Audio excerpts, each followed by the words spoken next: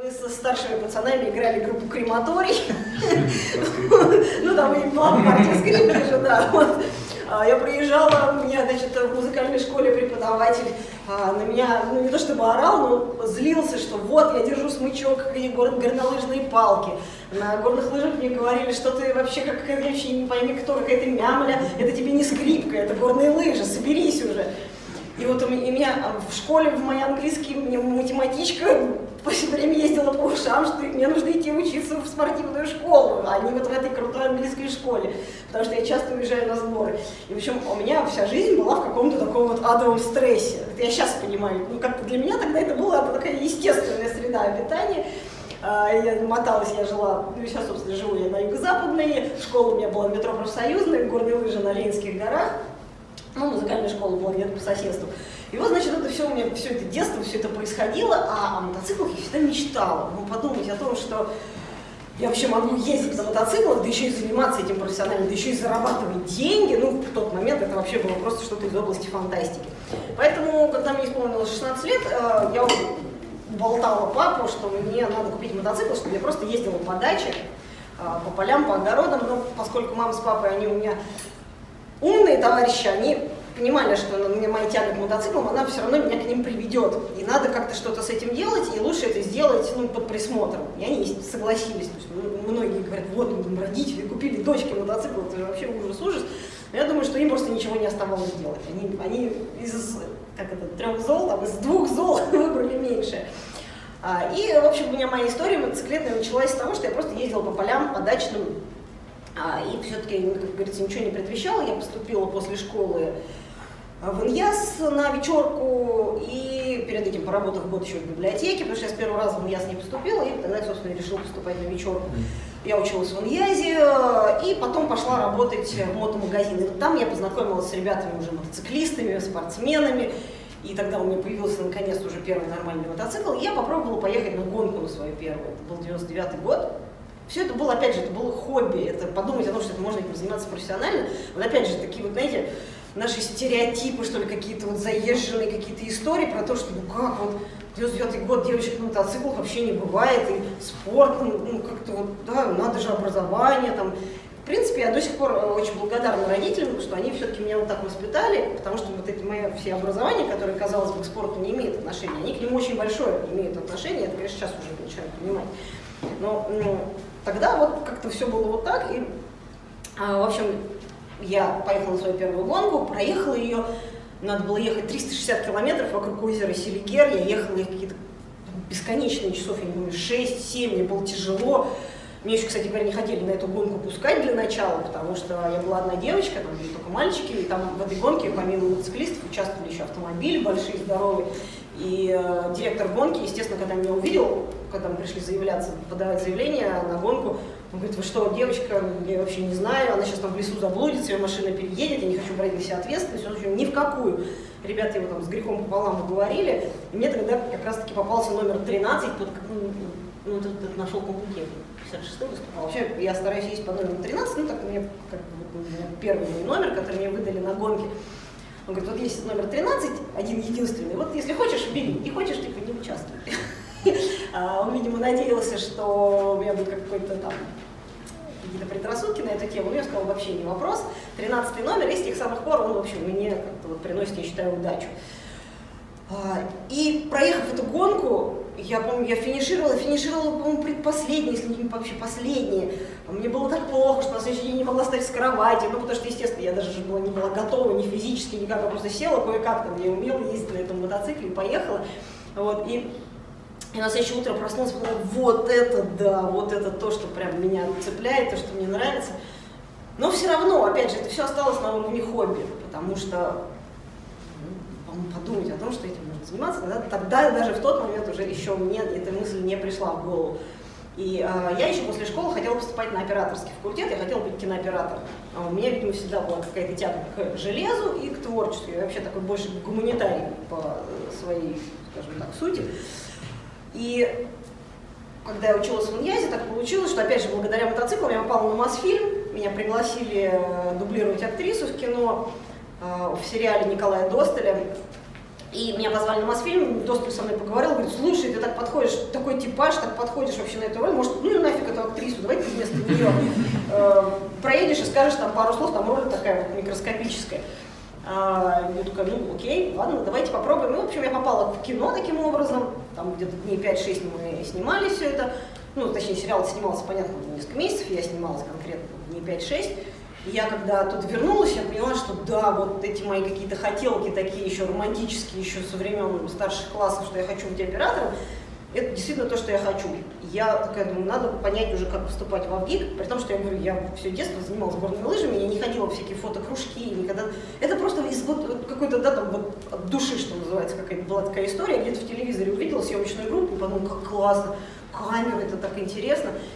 И, собственно, почему я не пошла поступать в ВГИК после школы, опять мои добрые родители, они меня отговорили, сказав, что чтобы поступать в такой крутой кинематографический институт, нужно иметь, во-первых, да, там, за плечами все эти фото-кинокружки и хотя бы там каких-нибудь Тарковских или Кончаловских, Михалковых родственников, потому что, потому что. А, ну и опять же, вот это все у меня отодвинулось, но все равно в ВГИК таки я поступила, я такая, как, видимо, как козерог, но все-таки, если что-то я задумала, я это стараюсь воплотить. Я поступила в АВГИК, и на какой-то промежуток времени у меня вообще мотоциклы, они вышли немножко за поле моего, так сказать, зрения. Я продала все, всю технику, которая у меня была, я купила себе кинокамеру, я, э, опять же, вот уже благодаря английскому языку изучила все книжки иностранные, как настраивать эти камеры. Я в какой-то момент была там, в Москве лучшим видеоинженером по всем этим телевизионным камерам. Общем, все у меня было очень неплохо, ровно до того момента, когда в нашей любимой стране случился очередной кризис.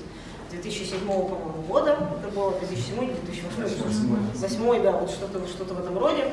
А, и, естественно, когда случается кризис, в первую очередь проседает что? Проседает всякие развлечения, бизнес, съем, ну, бизнес именно такой киношный, съемки, все кино рухнуло, все там рекламы, которые снимали, тоже стали по минимуму снимать. Работы не было. У меня мои там, однокурсники, очень тоже крутые ребята-операторы, они работали таксистами, потому что ну, как на хлеб зарабатывать. Вот. Ну, плюс у меня там еще в личной жизни тоже были такие перестроения, то есть я в одно прекрасное утро проснулась и поняла, что я дальше жить не могу. Мне надо все, все поменять.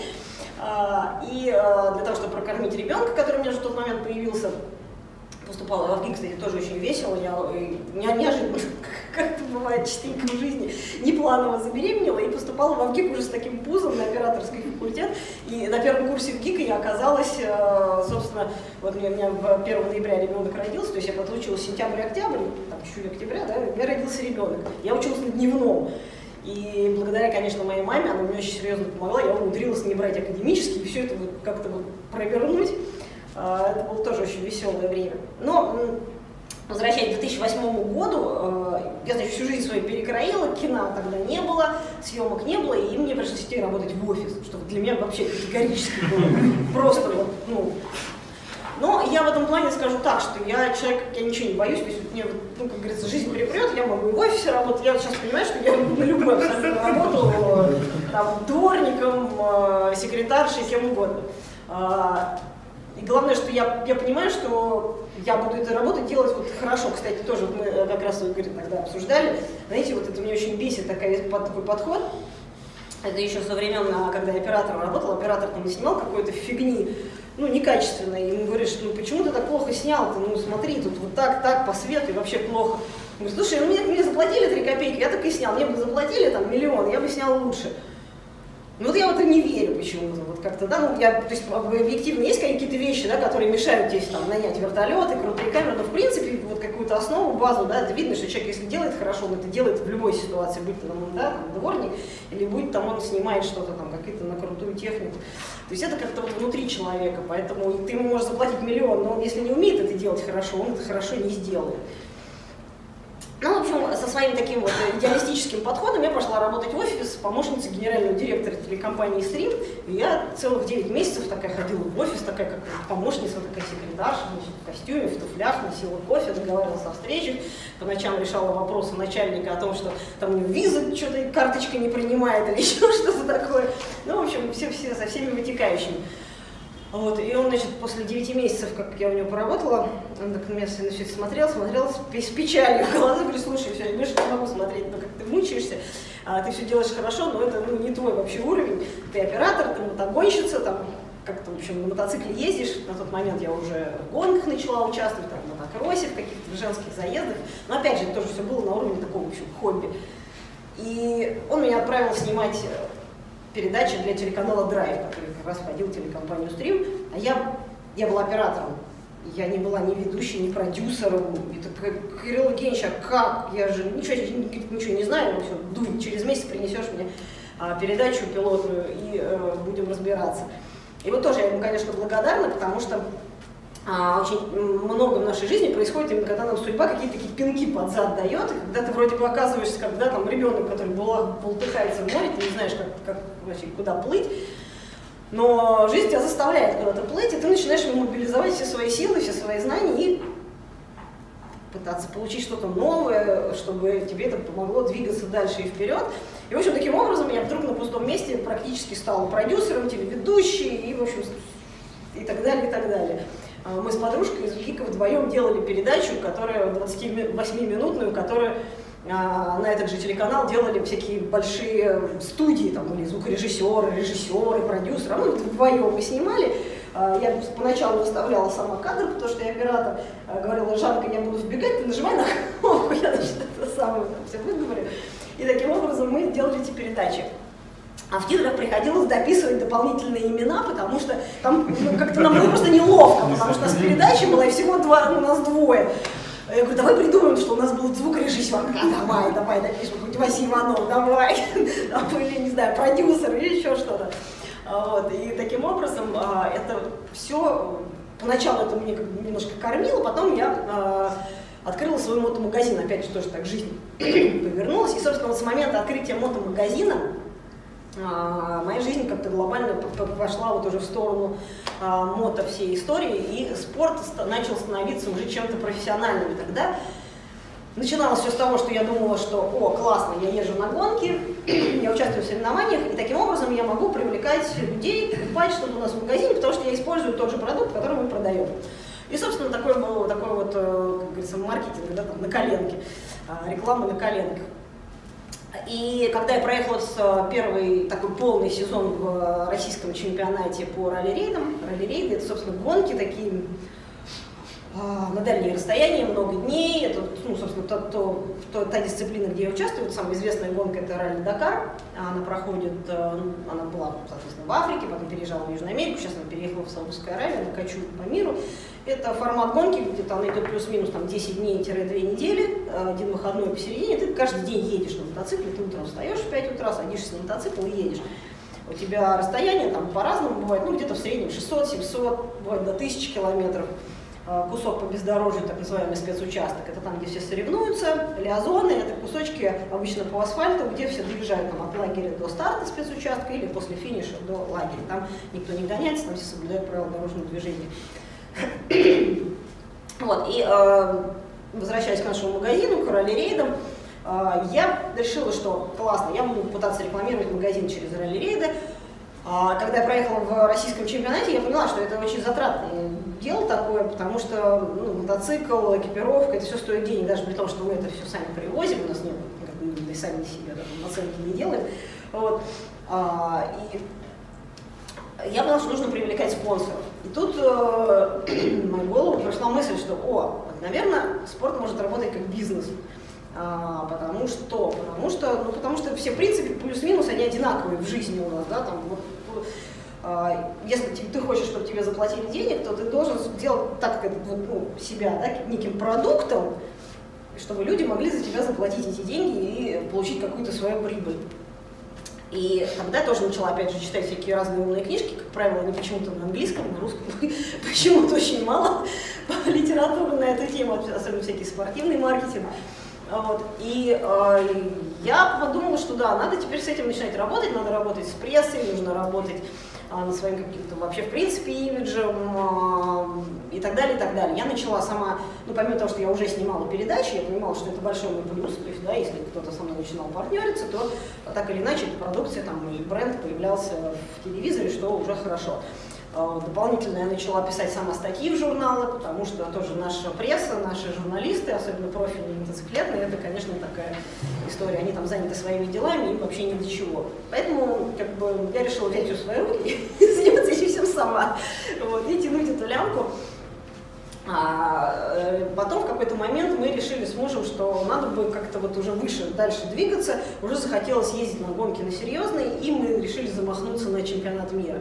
Съездили в качестве, просто поглазеть как в качестве туристов на этап чемпионата мира в Марокко, Посмотрели, все понравилось, но мы поняли, что это какие-то колоссальные деньжища. То есть один этап чемпионата мира, это вот просто без мотоцикла, без экипировки, просто съездить. Это будет там порядка 20 тысяч евро. А в сезоне таких этапов там, ну, минимум 5 надо проехать, то есть это 100 тысяч евро, это только на поездке, плюс сам мотоцикл, который там 40 тысяч евро стоит, экипировка и в общем, все это остальное. И мы так взгрустнули, но поняли, что надо как-то, если мы хотим развиваться в этом направлении, то тоже нужно какой-то бизнес-план придумать соответственно. А, и в тот момент э, поставили, в общем, достаточно много на кон. Я решила, что так, что надо, естественно, в первую очередь заявить о себе, нужно проехать, нужно добиться каких-то результатов и потом э, пытаться это, вот эту всю историю каким-то образом начать продавать. А, и поехала на свои первые гонки в 2014 году. Э, мы поехали на первый этап чемпионата мира в Эмиратах. И у меня, я скажу так, у меня эта гонка вообще была первая, первый такой шок был со всех сторон, потому что э, в первый же день на этой гонке разбился насмерть один из мотогонщиков. В этот же день в первый у меня сломался мотоцикл, который мы там взяли на прокат. Вот, после чего набрались опыта и поняли, что прокатные мотоциклы лучше не брать, надо ездить со своим. Вот, и так далее, и так далее. В общем, тогда я такая приехала из Эмиратов немножко такая, вот с такой вот головой квадратной. Я кое-как там добралась тоже до финиша, потому что а, не было толком опыта во всем этом. А, то есть, ну, как бы, да, и шли вслепую, потому что российские участники не принимали участие до этого никто, то есть даже посоветоваться было не с кем. Мы все, все это набирались, это все по пути. Проехали этот этап, э, решили, что отлично, надо ехать еще куда-то. И вот так в сезоне я проехала три этапа, стала серебряным призером Кубка мира в женском зачете. Э, под конец уже года у меня уже был определенный опыт, я уже немножко раскатилась, уже показывала более-менее приличные результаты. Вот. Но мы потратили все наши возможные и невозможные деньги, там из семьи, из бизнеса все вынули, все в этом бухнули. А спонсоры почему-то как-то вот так раз и с неба не свалились. Думаю, черт, где же я промахнулась, где же я что-то рассчитала не так. Ну, я как бы все это в самом начале, как бы, понятно, это все очень идеализировала, и, в общем, оно не случилось так, как планировалось. И мы уже было приуныли все в последний момент, и я думала, что, ну, наверное, наверное все-таки не получится так, и не, ну, спорт все-таки действительно не может приносить каких-то денег, спорт не может быть чем-то таким серьезным. Ну, по, по крайней мере, мотоспорт, потому что там, понятно, олимпийские виды спорта, это совсем другое, у нас в стране совершенно другое к этому отношение. Вот, но тут да, случилось такое, ну, получудо. Знакомый, э, с которым я встретилась на презентации гонки Африка и Рейс. Африка и Рейс это гонка такого же типа, как Дакар. Она проходит в Африке по, по маршруту старого Дакара, потому что когда Дакар основной уехал из Африки в Южную Америку, последователи той, скажем теории настоящих ралли-рейдов, они остались в Африке. Вот, была презентация этой гонки, и на этой презентации я встретилась с человеком, который э, предложил мне поехать на Африку Рейс за его команду. Он сам был на тот момент гонщиком участвовал в ралли-рейдах на автомобиле. Но опять же, надо понимать, что ралли-рейды, поскольку тоже это все очень дорого, в основном 99% участников это все-таки люди с достатком, это либо бизнесмены, либо там, не знаю, там, эмиратские какие-то катарские шейхи и так далее. Вот, э, но чистых спортсменов там достаточно немного, потому что они не могут себе просто это позволить. Вот. И, соответственно, этот а, мой знакомый, он тоже был далеко не бедным человеком, но у него были завязки во внешэкономбанке, он ну, благодаря этому там, смог организовать какой-то спортивный бюджет под все по эту историю, а, все там рассчитал и взял меня в команду, чтобы я как раз отрабатывала всю эту вот историю медийную, да, потому что ему как бы, появляться на публике было ну, не так, что ли, с руки. вот. А, но а, было одно условие, что да, говорит, я беру тебя в команду, но ты едешь на Африку Рейс, мы оплачиваем только половину а вторую половину ты типа ищи деньги сама. Вот. И тут тоже думаешь, ну как же так, мы так уже все, у нас денег уже нет, вообще все уже просто пустили. Но опять же, гонка Африка и Рейс, надо понимать, это такое большое серьезное мероприятие. Мы понимали, что от нее будет большой медийный выхлоп и гораздо больше, чем от этих этапов чемпионата мира, где я участвовала. А, залезли в долги, заняли денег, там, в общем, тоже шкрябали по углам, поехали на гонку Африка Рейс, и сработало. Действительно, был хороший выхлоп, потому что там ездил с нами на гонку КамАЗ-мастер, э, Сережка Приянов там из Газпрома, привез э, Матч ТВ, он привез Россию-24, они все все это снимали. Я попала в телевизор большой, федеральный, попала во всякие разные журналы, про меня написали статьи. И когда я приехала, у меня уже появился на руках какой-то некий, да, там, что-то осязаемое, да, то есть когда я приходила уже к партнерам потенциальным и рассказывала про э, гонки, мне спрашивали, ну окей, классно, там, у тебя там логотипчик, а что это как бы фигня, где реально и как это, это работает. У меня уже был какой-то материал, который я могла объяснить, как это работает, где это появляется и что я для этого делаю. А, в тот момент как раз у меня начали появляться уже денежные спонсоры, там тот же Матюль, э, потом в процессе сезона появился еще Red Bull и так далее, и так далее. В том сезоне я смогла стать э, чемпионкой мира в женском зачете, потому что так уже полномерно все э, подошли к подготовке, хорошо выступила. И, собственно, вот так вот, э, вот эта вся история начала потихоньку, потихоньку себя окупать. Понятно, что мы там еще были в долгах, все это отдавали потихоньку. Там было тоже очень много всяких сложностей. В шестнадцатом году поехали на фрикурейс второй раз, и я там уже ехала в общем зачете, боролась с мужиками за подиум. У меня на восьмом этапе из 11, э, на восьмом этапе сломался сначала мотоцикл, таким образом, что мне это отбросило туда вообще назад в турнирной таблице, я не смогла уже бороться за подиум. А апофеозом этой всей истории было то, что а, в предпоследний день гонки я упала очень неудачно, и у меня был ну, тогда еще не знала, у меня сломался позвоночник, компрессионный перелом. То есть это не то, что я там упала, все, и лежу, не шевелюсь, я могла шевелиться. У меня была жуткая, совершенно дикая боль в спине. Я доехала этот день, доехала следующий день, и о том, что у меня компрессионный перелом, узнала уже в Москве, когда вернулась, потому что там, в, в Африке, в э, Сенегале, не, не определить, что со мной случилось. Вот. И в тот момент я оказалась в таком тоже, вот вроде бы, вроде бы вот она поперла, да, там все, спонсоры появились, вроде гонки, все вот как хотелось, начало, начало развиваться, а потом бац, опять такой провал вниз, опять, соответственно, по здоровью я на полгода оказалась на больничном, Плюс э, новости от Внешэкономбанка, там тогда как раз все это руководство смели, это как раз был 2015, конец 2015 года, начало 2016, и всю эту историю нашу спортивную тоже закрыли, мне сказал мой э, товарищ, что все, говорит, мы больше не, ну, команды нет.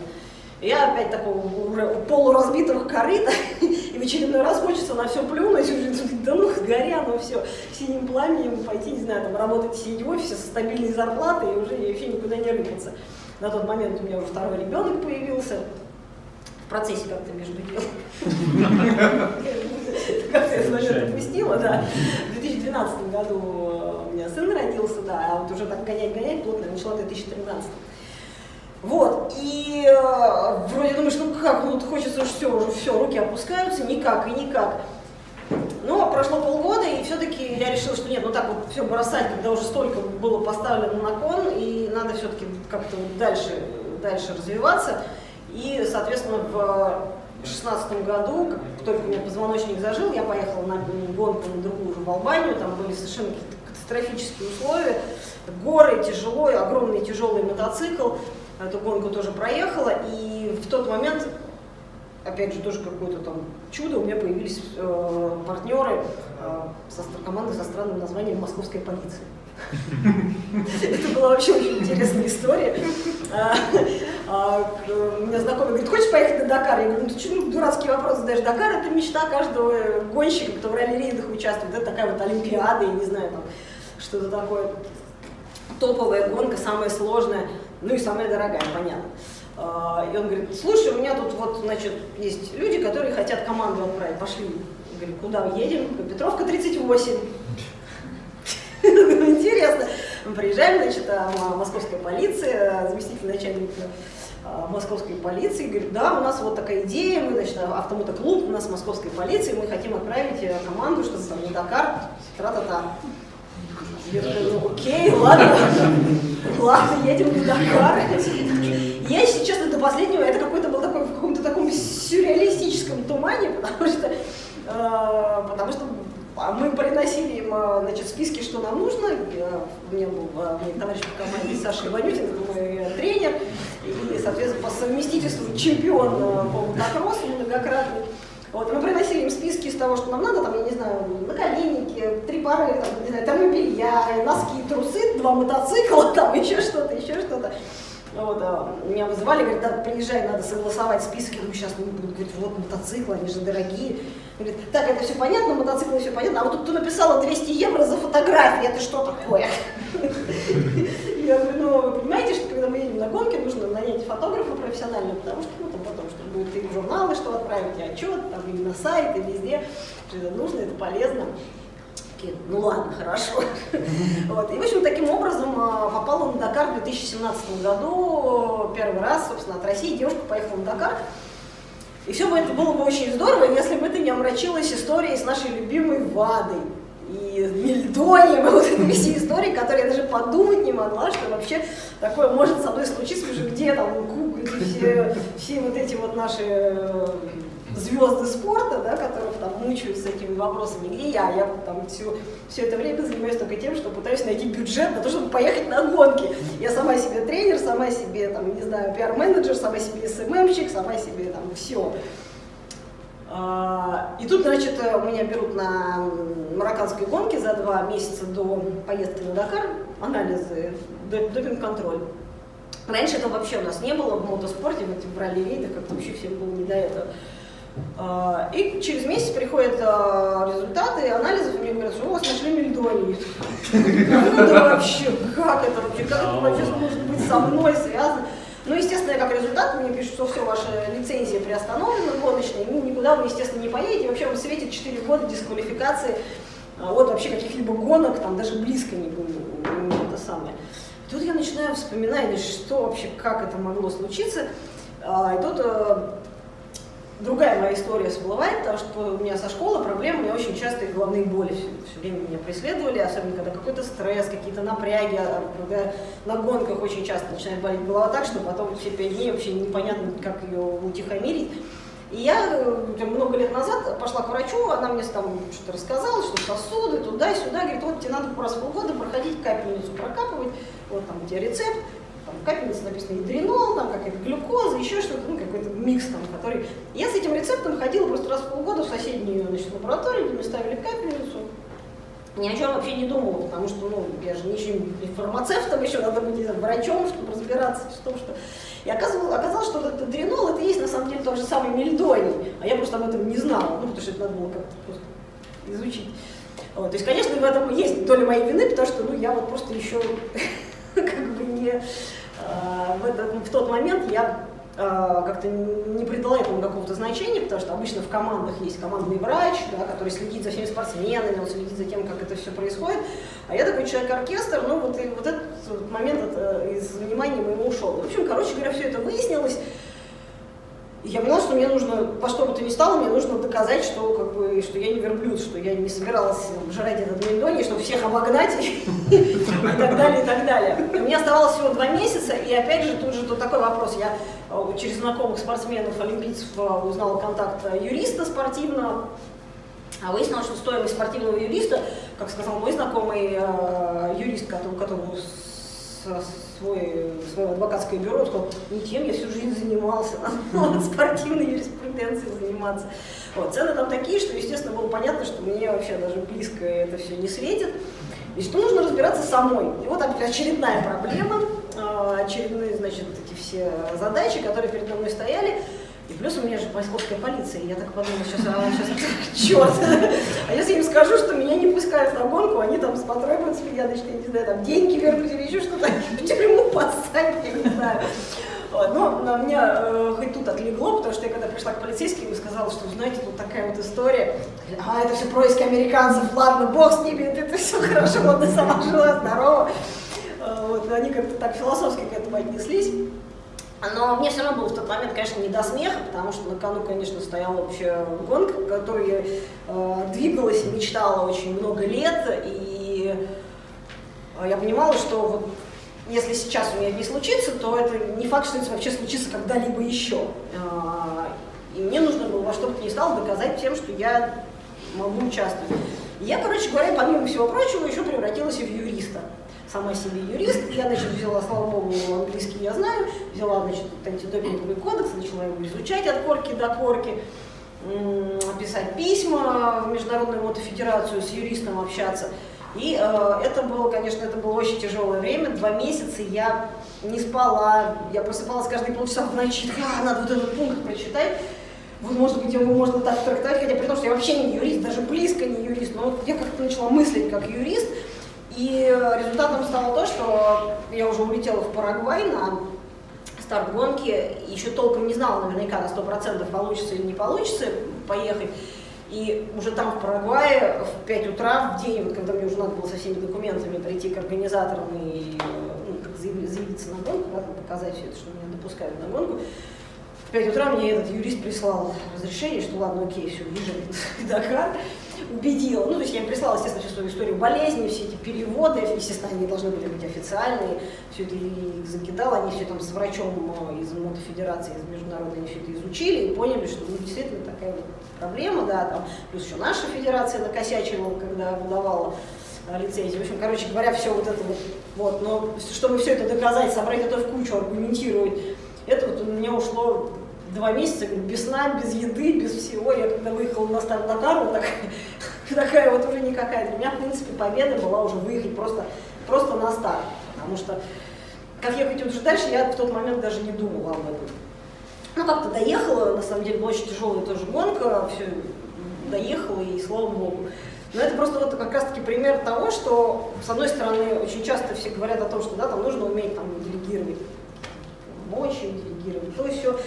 А выходит, ну, не знаю, по крайней мере, у меня, у меня так вот с, моим, с моим опытом, я понимаю, что чем больше я из разных областей обладаю всякими разными знаниями, тем больше мне это помогает и э, двигает это меня вперед. То есть, да, я вот, там, уже разбираюсь и в спортивном маркетинге, да, там частично вот в этой вот э, с юридической точки зрения разобралась, да, там со всеми этими историями с ВАДой, там еще что-то, еще что-то, я уже там и механик, естественно, сама себе, потому что вот а, в прошлом году, в 2019, а, я опять собралась на Дакар, прихожу к своему партнеру, говорю, а давайте поедем опять на Дакар. У меня компания Матюль, они генеральные партнеры Дакара, они вы же там главные на Дакаре, давайте вы как-то мне это поможете.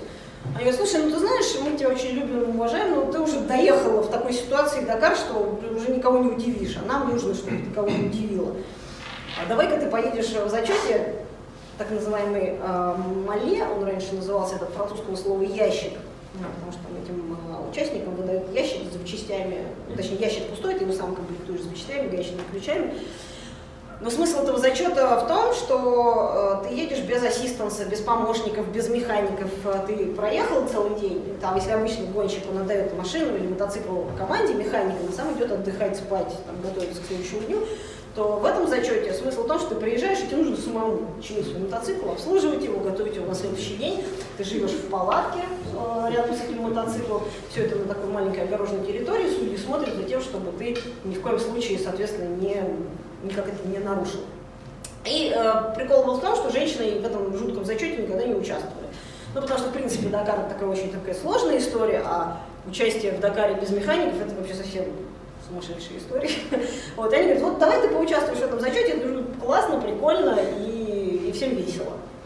Я, естественно, развод, можно сказать, совсем вообще не весело, а, но я даже, я даже сразу, при том, что я достаточно авантюрная барышня, я сразу сказала, нет, ребят, давайте меня сразу здесь закопаете, не будем все мучиться, и дешевле выйдет.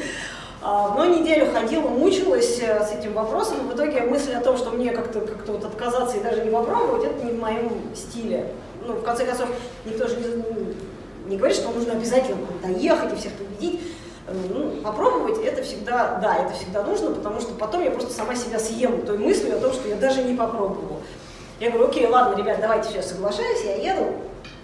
А, и мы начали к этой истории готовиться, и мне, соответственно, для того, чтобы ехать в этом зачете, нужно было стать механиком. То есть, понятно, я как бы, в общих чертах знаю, как мотоцикл работает, сама там в детстве тоже гайки крутила, но вот это совершенно другая история, когда началась заниматься уже профессиональными гонками, у меня уже появился нормальный профессиональный механик, и я уже об этом как-то особо и не вспоминала. А тут все, все сама, масло менять, фильтры менять, колеса менять, там если какие-то поломки, тоже менять, все самой, там звезды, цепи надо менять, уметь клепать. Я начала заниматься со своим механиком, уже конкретно учиться, как это все делать. И, в общем, это все действительно сработало, помогло. Я в 2019 году проехала этот Дакар, и стала, в общем, первой девушкой, которая вообще за всю историю Дакара проехала в зачете без механиков. Вот, и тут увидела, что ну, действительно вот эта поговорка, когда глаза боятся, руки делают, это, видимо, вот тоже про, тоже про меня. И таким образом, в общем, вот дожила до того момента, вот что происходит со мной сейчас. Э, на, на сегодняшний момент, конечно, у меня уже, мне как говорится, грех жаловаться, да, там у меня партнеры, есть спонсоры, понятно, что всегда не хватает, всегда мы что-то ищем больше, но я сейчас, у меня новые уже идеи, хочется двигаться дальше, уже сейчас начала потихоньку гонять уже и на автомобилях, на баги сейчас хочу пересесть. Э, вот, но мотоцикл все равно это у меня такая любовь, как говорится, one love, э, все равно будет всегда со мной рядом, в этом году все равно еще буду ехать чемпионат мира на мотоциклах. А вот, но чему меня научили ралли-рейды и вообще спорт, в принципе, о том, в том, что они, это меня все научило тому, что если у тебя есть какая-то цель, ты очень хочешь ее добиться, то в принципе все возможно. Даже если ты маленькая слабая девочка и все, э, все у тебя находится вот здесь в голове по большей части. Если ты со своей головой можешь подружиться, то ну, реально никаких преград нет. Потому что на, тех же, на том же Дакаре я видела частенько, когда здоровые, огромные мужики э, стоят просто вот на обочине и, и плачут. Ты к ним подъезжаешь, говоришь, ты чего, алло, гараж, соберись, тряпка. А он, а он стоит и такой, мне пить, дайте мне пить, мне плохо. Ну, видно, что у него уже губы потрескались, у него обезвоживание. А у него висит вот этот вот шланг с э, изотоником. Я же ему говорю, вот у тебя же шланг, ты что, он уже не соображает, ну, потому что уже все, у него уже настолько уже обессилило и все. А, и они сходят а, по разным причинам, бывают, ну, понятно, травмы, а, люди разбиваются насмерть, потому что мотоциклисты, конечно, это самые уязвимые персонажи на гонке, потому что мы не находимся в, в, защитном, в защитном каркасе, если ты падаешь, ты, соответственно, всеми частями тела все пересчитываешь. А вот. Девочек очень мало участвует в ралли-рейдах, э, вот в таких особенно как Дакар, потому что это, ну, как я уже говорила, очень, очень тяжело физически, очень тяжело морально. И я бы даже сказала так, что как раз таки ралли-рейды это действительно все больше про голову, потому что как бы ты не тренировался физически, ты, естественно, все равно там 3, на третий, четвертый, пятый день ты начинаешь уставать. Ну, так получается. И э, на пятый, шестой день ты просыпаешься, у тебя все болит, ты не можешь просто встать там с кровати, с матраса, выползти из палатки, и у тебя просто ты должен найти ту мотивацию двигаться дальше. Очень много людей сходит именно потому, что они не могут найти эту мотивацию для себя. Нахера мне это все надо, все, я не хочу больше никуда ехать, я должен лететь домой, не знаю, там, к семье, к детям, э, в свою чистую белую кроватку. Те люди, которые умеют найти эту мотивацию, они двигаются и добиваются цели, добиваются цели, добиваются успеха, добиваются того, что они доезжают до финиша. А, у меня, мне вот часто тоже задают вопрос, где я, собственно, эту мотивацию нахожу. А у меня очень много разных вариантов на тему. А, самый простой, это самая простая мотивация, это то, что я просто сама себя ну, начинаю уговаривать, думаешь, ну как ты сейчас сдашься, ты не доедешь, а потом будешь сама же себе мозг съедать по поводу того, что ты вот тут слабину дала. Ну, начинаешь собираться с силами, с мыслями, едешь дальше. Вторая мотивация это то, что а, ну, вот у нас на мотоциклах у нас стоят такие датчики GPS, которые по спутнику а, организаторы, все там, болельщики видят, как эти точки передвигаются. То есть у меня, например, семья моя, они все, кто за меня болеет, они смотрят на экран и видят, как я еду. Если точка останавливается, начинают все дико, естественно, переживать, потому что, значит, что-то случилось.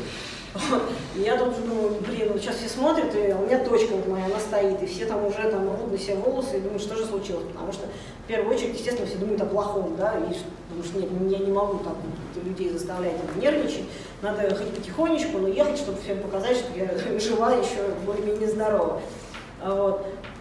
Ну и разные еще другие всякие варианты. Но много же друзей и людей меня поддерживают в соцсетях, которые, которых я не знаю, да, но они там за меня болеют, мои болельщики, они пишут, что Настюха, мы там за тебя болеем, Сибирь с тобой, там, я не знаю, Крым с тобой, там еще кто-то, Урюпинск. А, и думаешь, как же там ребята-то в Урюпинске, блин, не могу я Урюпинск подвести, мне надо ехать. А, но самый кайф, когда я вот тоже э, долго не могла найти ответ на вопрос, зачем я вообще всем этим занимаюсь, что меня так, если это все тяжело, это, это какое-то вечное преодоление, зачем, что, что вызывает удовольствие. Ну, помимо того, что иногда, иногда бывает, что ты ловишь кайф, естественно, от самой езды, да, когда ты не очень уставший, когда у тебя ничего не болит, это все, это все понятно. Но по большей части все равно ты едешь и, и страдаешь, и тебе плохо. Но я поняла, что меня доставляет удовольствие именно момент, когда я понимаю, что я смогла победить себя с ту слабую, вот, которая хотела сказать, нет, все, я все брошу, я не хочу, никуда не поеду, я хочу на ручки, платье там, и так далее. А, и когда ты каждый день, то есть гонка же несколько дней длится, да, там 5 дней, 10 дней, 2 недели, и вот ты приезжаешь каждый день в бивак, этот лагерь, где мы живем, который тоже двигается вместе с гонкой, и каждый раз ты приезжаешь в бивак и думаешь, фу, я это сделала, классно, и какое-то внутри такое вот, какое-то такое состояние, очень сложно так вот передать, на пальцах описать, там все это вот показать, но внутри какое-то прям тепло такое, думаешь, классно, вот сегодня я себя победила, и за это мне нравятся эти гонки, а, за это чувство победы над собой, над этими обстоятельствами, как я в говорила, это, это все заставляет двигаться дальше. И вообще люди все, которые участвуют в ралли-рейдах, они в этом смысле такие маньяки. Они всю гонку думают, блин, когда же финиш, нам плохо. А как только все финишируют, все-таки грустнеют и такие, слушай, а ты едешь там вот через две недели, а вот через месяц будет гонка, поехали, и так друг другу как это сообразим. А, и ты понимаешь, что ты просто без этого уже не можешь, это действительно какой-то вот, э, ну, как наркомания такая в хорошем смысле. А, я вот сейчас смотрю, уже несколько лет подряд очень популярная стала тема там, с тем же триатлоном, да, многие люди с бизнеса этим занимаются. И триатлон тоже очень похожая история, тоже, это тоже преодоление, просто ну, это в основном всегда длится один день, но тоже это очень тяжело, это, к этому нужно готовиться. Ты вот так вот раз, а ты не сделаешь. И каждый раз, когда я разговариваю с людьми, которые этим тоже занимаются, говорят, ну это классно, это вот я Потому что даже, ну, даже не вопрос не про результат, что ты кого-то победил, а то, что ты победил себя, ты преодолел, ты смог проплыть, пробежать, проехать, и от этого люди испытывают определенные чувства и эмоции. Да, физическую усталость, но морально ты перезаряжаешься очень серьезно. И люди, которые серьезно напрягаются, там, ну, обычно, как правило, это, как вы, да, руководители, у которых проблемы на работе, там, в офисе, они, они таким образом просто мозги прочищают и заряжаются этой энергией. Да, физически эту энергию отдают, но морально заряжаются. И точно так же очень много людей занимаются ралли-рейдами, точно так же абсолютно, потому что ралли-рейд это такая отдельная жизнь. То есть вы помимо того, что гоняете, помимо того, что это соревнование, это же еще путешествие. Потому что гонка проходит, как вы видите по фотографиям, вообще в таких местах, куда просто нормальный человек в здравом, как говорится, умеет светлой памяти, просто не поедет. Вот, а ты проезжаешь, там, не знаю, какую деревню в Мавритании, видишь, как эти люди живут там, вот, настоящие, не как показывают на Discovery там, или где-то в телевизоре, все это разговариваешь с людьми, разговариваешь с местными жителями, потому что помимо того, что ты гоняешь, еще есть куски, вот то, что я говорила, проезжаем мы там просто по дорогам еще пользуемся, заезжаешь в какие-то кафешки и так далее, и так далее. Все это путешествие. И это, в общем, по большому счету и такая, ну, как бы и философия тоже определенная, потому что я, по сути своей, я, в общем, по большей части интроверт, мне так кажется, потому что я люблю там гонки, да, как ни странно звучит. И я думаю, что вот именно эти гонки, почему мне нравятся, потому что я там одна еду а, вот так вот одна в пустыне, и больше никого, и все. Я иногда бывает, что едешь, просто начинаешь какие-то мысли в голове переваривать, что-то с собой разговаривать. А, и это, это все мне нравится, и это увлекает. А, поэтому я даже не могу про эти гонки разговаривать часами и часами. Может быть, вы меня задаете какие-то уже наводящие вопросы, что-то, чтобы я в каком-то... Настя, расскажи, когда тебе страшно было? Страшно? Вот совсем страшно. Ну, страшно у меня было, было таких серьезных, страшных историй два раза. Э, первый раз на первом Дакаре в семнадцатом году, когда гонка проходила на территории Аргентины, Парагвая и Боливии, а Боливия, как вы знаете, она вообще вся очень высоко, высоко находится, высокогорные, там 3,5-4 тысячи метров. И в какой-то момент мы ехали по такому огромному плату, абсолютно ровному. Там не было ни деревьев, ни дорог, ни столбов, вообще ничего. Но все это было находилось на высоте там, 3,5-4 тысячи метров. И началась гроза. Началась жуткая совершенно гроза, и прям в воздухе пахло вот этим электричеством, а, начали молнии бить э, в землю. И я реально испугалась, что меня ударит молния, потому что ну, я там была таким единственным прыщом, который торчал, и прям молния, ну, я говорю, мне казалось, вот еще чуть-чуть, и реально я прям до нее дотянуться могу. А в тот день, кстати говоря, одного гонщика мотоцикл молния ударила, он, слава богу, живой остался, но его так серьезно контузило, мотоцикл, естественно, сломался. Вот, то есть это, ну, то есть, то, что я рассказываю, это, это прям были не шутки. Не то, что там где-то гроза где-то там, а вот она прям, вот, прям здесь была. Было страшно. а а ничего, ну, ты ничего сделать не можешь, там спрятаться некуда, и оставалось только просто ехать и молиться, что в тебя, в тебя не, не попадет. И второй раз было страшно как раз вот на втором Дакаре в 2019 году, тоже уже ближе к финишу был день, я не помню, восьмой, девятый, а, за гребнем дюны, ну дюну видели, да, дюна, и когда ты падаешь за, за дюной, то человек, который едет отсюда, он не видит, что там за ней. А ладно, мотоциклист, а когда там машина или грузовик девятиторный, то это все чревато. И я вот так вот за дюной завалилась, и за мной через какое-то время поехал грузовик. И он, короче говоря, я так только успела встать и к мотоциклу попыталась подойти, под, точнее подползти, и я увидела просто, что небо почернело, и эта девятитонная махина, она надо мной нависла. А, я как-то в сторону успела слегка отползти. В общем, он вот так вот перемахнул, и мне просто повезло, что он гонщик, который за рулем сидел, был опытный дядька, и он э, слышал сигнал прибора, там у нас срабатывает тоже система оповещения, что если кто-то из мотоциклистов падает, в радиусе 500 метров э, у участников в их приборах раздается такой сигнал неприятный. И он понимал просто, что, ну, как бы сигнал-то раздается, но ты не знаешь наверняка, где этот человек в радиусе 500 метров может быть где угодно. Он просто понимал, что может быть все что угодно, и в момент, когда грузовик вот так вот плюхнулся вниз, он просто нажал сразу на тормоз, чтобы посмотреть, и, собственно, сразу же меня увидел. Обычно автомобили, чтобы не застрять в песке, они когда вот так переваливаются, они сразу на газ и едут. А, на том Дакаре, кстати, тоже мне там мотоцикл, по мотоциклу переехали. Ну, так, это было не так все страшно. Вот грузовик было страшно, потому что мотоцикл, он прям вот передними колесами так пнул, а бампер этого грузовика у меня вот был в паре метров перед лицом. А, я потом отъехал, ну, мотоцикл вытащила, отъехала в сторонку, где-то минут, наверное, 10 стоял, меня просто вот так трясло, потому что вот это осознание того, что могло случиться, оно так догнало. А, на гонках это бывает, к сожалению, частенько такие истории случаются, но вот и когда ты оказываешься буквально на волоске, оно, конечно, ну, было очень так прям неприятно и реально страшно. Ну, тоже такая вот история, а, После этого меня спрашивают, а как же у тебя там двое детей, вот ты так рискуешь, это же вот ты что, зачем оно тебе надо? Ну, я не знаю, а что лучше, может быть, э, может быть лучше так, э, да, там, классика, чем от водки от простуд. Э, Как-то очень узкий спектр вариантов. Нет, я просто понимаю, что если я этим заниматься не буду, то это уже какая-то не жизнь будет, ну, для меня лично. И я боюсь, что для моих близких это будет еще хуже, потому что это же все будет на них отражаться. Так, так или иначе, я просто не настолько человек, который, ну я думаю, мы все такие, но это так или иначе будет, вот если мы занимаемся чем-то не, не тем в этой жизни, то это все равно, это видно, это и со стороны, и ты сам для себя это чувствуешь. Вообще я считаю, что а, обычно успеха добиваются люди, только, которые которые любят свое дело, или как минимум, когда это дело их заводит, какой-то драйв они от этого получают, какой-то кайф, да, там, пусть это зарабатывание денег, или, или это производство чего-то, я не знаю, все что угодно. Если человек от этого получает удовольствие, то это точно этот человек с этим со своим делом обречен на успех. А если он выходит на работу и ждет, когда же там у нас выходные уже, это все, это, это, мне кажется, это все лучше сразу заканчивать. Ну, потому что это в каком возрасте заканчивается карьера? Гонщика?